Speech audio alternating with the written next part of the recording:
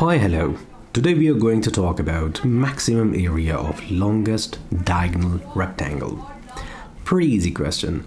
We will just go through the question statement and we will see that how step by step we can extract the solution out of the same question statement. So you are given a 2D zero index integer array, a dimension. So we'll get something like that.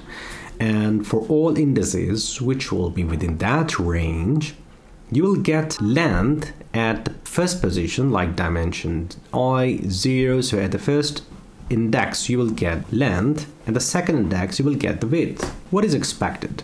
You have to return the area of the rectangle which is having the longest diagonal. So if you get something multiple rectangle which is having the same diagonal, then you have to return the area of the rectangle having the maximum area. So let's go with this statement and see that how we have to extract the information from that. At the same time, we will get the solution out of it. Alright, so in this question, you're given a 2D array, which is named as dimensions and at the first place you will get the length and on the second place you will get the width you have to return so from these two lines actually you are provided what is given to you. And in this statement they are saying what is expected from you after calculation.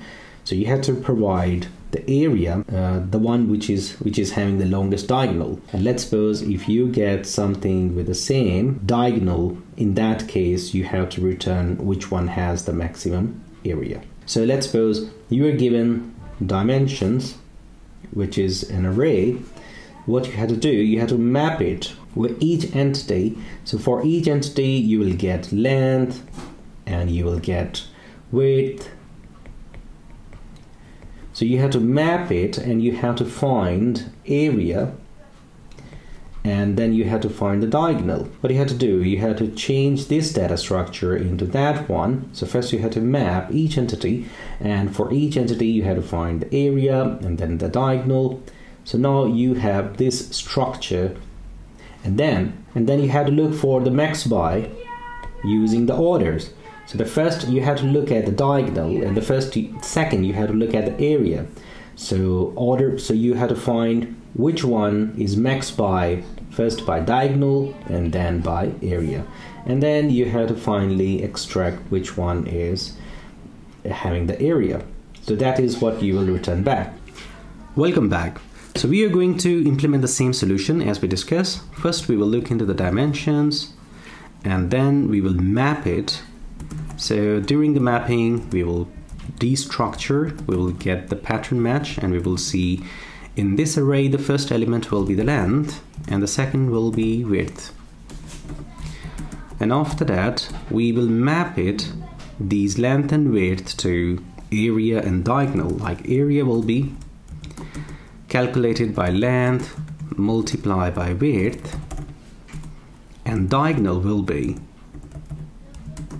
calculated with the simple formula that math dot square root and we will say length multiply by length plus width multiply by width. So very simple. And finally we will return area and diagonal. Now once we have mapped each entity length and width with the area and diagonal we will then apply a max by where we will say again we will destructure. Now this time we are, we will we will get area and we will get diagonal in like a tuple.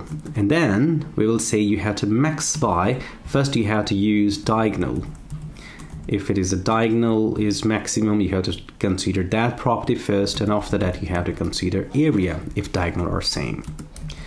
And finally you have to return area which is at the first place in the tuple and that's it. We had run the code, pretty simple. And here we go. That's it.